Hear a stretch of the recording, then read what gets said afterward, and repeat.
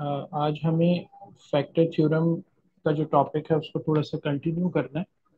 और ये देखना है कि कल जो हमने क्वेश्चन किया था लास्ट क्लास में लास्ट सेशन में आ, उसके अंदर फैक्टराइजेशन के लिए जो है ना एक और टेक्निक यूज़ होती है एक और मेथड यूज़ होता है। वो क्या है और किस तरह हम उसको यूज़ करके ऑल्टरनेटिवली भी वो काम कर सकते हैं जो हमने लास्ट सेशन में देखा था। तो पिछली दफ़ा हमने देखा था कि एक एक्सप्रेशन हमें गिवन था three x cube plus seventeen x square plus a x plus b और इसका एक फैक्टर हमें गिवन था।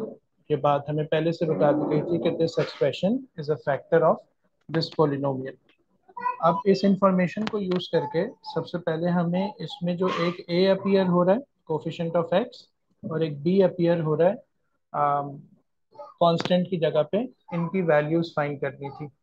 तो उसके लिए फिर आपको याद होगा कि हमने साइमल्टेनियस सोल्यूशन वाला मेथड यूज़ किया था सॉल्व करने के लिए। और हमने सबसे पहले ये वाला जो एक्सप्रेशन था, इसको फैक्टराइज कर दिया था। और फैक्टर थ्योरम ये कहता है कि अगर आपके पास कोई एक्सप्रेशन किसी पोलिनोमियल का फैक्टर हो तो आप उस एक्सप्रेशन में से जो भी एक्स की वैल्यूज़ निकालेंगे जब आप अपने गिवन पोलिनोमियल में पुट करेंगे तो आंसर ज़ीरो आ जाएगा।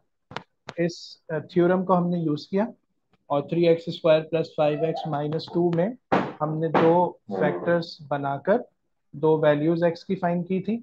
वो हमने अपने पोलिनोमियल में पुट करके ए बी की फॉर्म में दो इक्वेशंस बना ली थी। और ये जो दो इक्वेशंस थी, इनको साइमल्टेनियसली सॉल्व करके हमने ए बी की वैल्यूज़ फाइंड कर ली थी। अच्छा ए और बी की जब ये वैल्यूज़ हम रिप्लेस कर देते हैं तो ये जो गिवन पोलिनोमियल है, ये इस फॉर्म में आ जाएगा। Three x cube plus seventeen x square plus eighteen x minus eight और इस पोलिनोमियल का एक फैक्टर हमें गिवन था। दूसरा फैक्टर हमने फाइंड किया था लॉन्ग डिवीज़न को यूज़ करके, जो इससे पहले हमने मेथड सीखा है। तो अगर आप किसी एक फैक्टर से अपने पोलिनोमियल को डिवाइड करते हैं तो आपका जो क्वेश्चन मिलता है, वो उसी पोलिनोमियल का सेकंड फैक्टर होता है। इस कॉन्सेप्ट को हमने यूज़ किया। प्लस ये कि ये जो क्वाड्रेटिक फैक्टर हमें गिवन था, ये फर्दर दो फैक्टर्स में डिवाइड हो सकता है। तो हमने इसको पहले ही दो फैक्टर्स में डिवाइड किया हुआ था, वो हमने इसकी जगह लिख दिए तो इस तरह आपने तीन फैक्टर्स बना लिए। और ये बात क्लियर थी कि एक्स की जो मैक्सिमम पावर है ना, वो क्यूब थी। तो आपके पास तीन फैक्टर्स बनने चाहिए थे, जिससे एक्स की तीन वैल्यूज़ भी हमें मिलनी चाहिए। तो ये पिछले सेशन का एक रिव्यू था।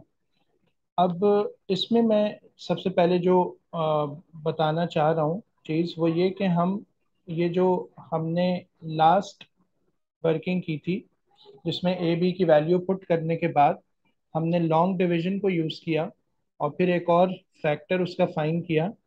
तो ये वाला काम हम कोफिशेंट्स इक्वेट करके भी कर सकते हैं।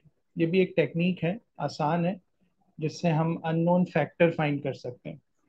तो मिसाल के तौर पर आपके पास अगर एक एक्सप्रेशन गिवन है three x cube plus seventeen x square plus eighteen x minus eight जिसका एक factor three x square plus five x minus two है तो अब ज़ाहिर है इसके साथ में एक फैक्टर और भी आएगा क्योंकि ये क्यूब है तो इसमें तीन फैक्टर्स बनने चाहिए।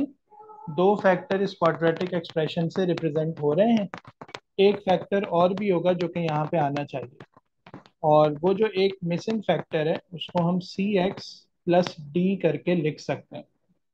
तो एक फैक्टर उसका गिवन था ऑलरेडी क्वेश्चन में, एक फैक्टर मिसिंग था। वो हमने अननोन कोफिशेंट्स के साथ सी एक्स प्लस डी करके यहाँ पे लिख दिया है। अब हमें ये फाइंड करना है कि सी की वैल्यू क्या है और डी की वैल्यू क्या है ताकि इस फैक्टर की कंप्लीट इंफॉर्मेशन हमें मिल जाए। उसके लिए हम क्या करते हैं? हम यहाँ पर एक्स क्यूब के कोफिशेंट्स को इक्वेट कर लेते हैं। एक्स क्यूब का जो कोफिशेंट है, वो लेफ़्ट हैंड साइड पे थ्री है।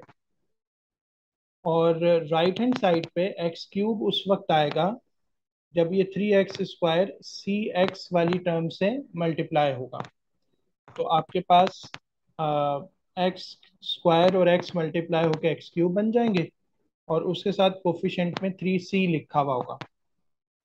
तो हमने ये किया कि लेफ़्ट हैंड साइड से एक्स क्यूब वाली टर्म उसको लिया और उसका कोफिशेंट यहाँ पे लिख दिया, सिर्फ़ कोफिशेंट राइट हैंड साइड पे हमने देखा कि एक्स क्यूब कब आएगा? जब थ्री एक्स स्क्वायर वाली टर्म सी एक्स से मल्टीप्लाई होगी तो एक एक्स क्यूब आएगा। और इसके अलावा किसी भी यानी जो पूरी मल्टीप्लिकेशन हम करेंगे दोनों ब्रैकेट से इसके अलावा कोई भी टर्म एक्स क्यूब वाली नहीं आएगी।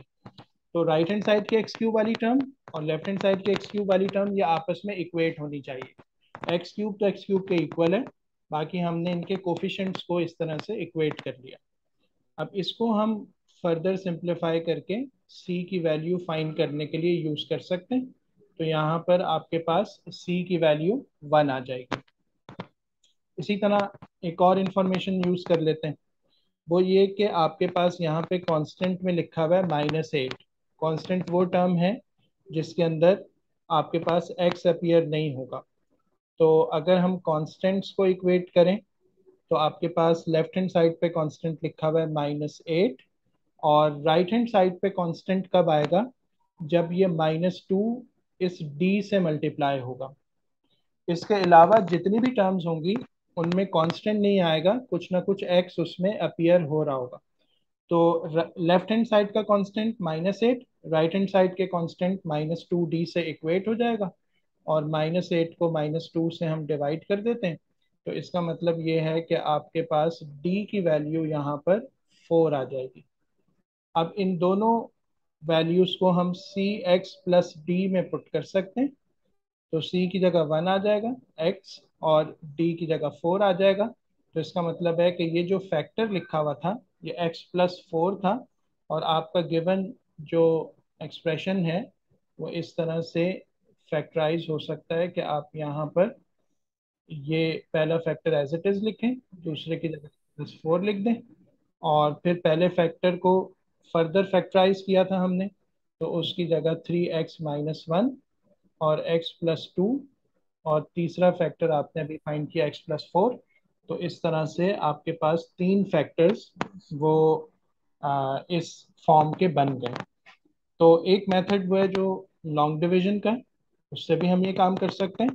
और एक टेक्निक वो है जो अभी हमने डिस्कस की जिसमें कोफिशेंट्स को इक्वेट करके हम अननोन फैक्टर को फाइंड करके बता सकते हैं We try to explain complex concepts in simple language and with effective examples. If you like the video and the way we explain the subject, consider liking this tutorial, commenting on it and subscribing to our channel and press the bell icon, so that you stay updated and get notified when we upload more videos. Thanks for watching.